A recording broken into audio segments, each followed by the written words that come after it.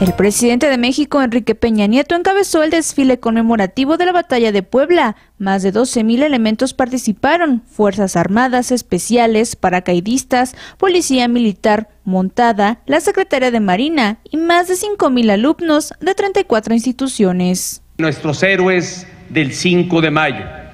Esa es la herencia de quienes ofrendaron su vida en defensa del honor nacional. En esta fecha tan emblemática, también rendimos homenaje a don Benito Juárez, quien entonces encabezaba los destinos del país. Honramos así a quien, no obstante los tiempos turbulentos que le tocó enfrentar, sentó las bases políticas del México de hoy con los principios de legalidad. Para Telefórmula Puebla informó Diana López Díaz.